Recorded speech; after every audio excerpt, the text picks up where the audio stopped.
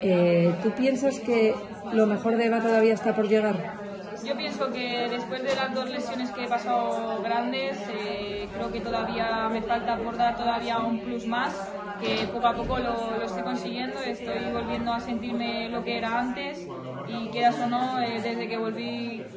con el club, eh, llevo cinco meses compitiendo que al final es poco.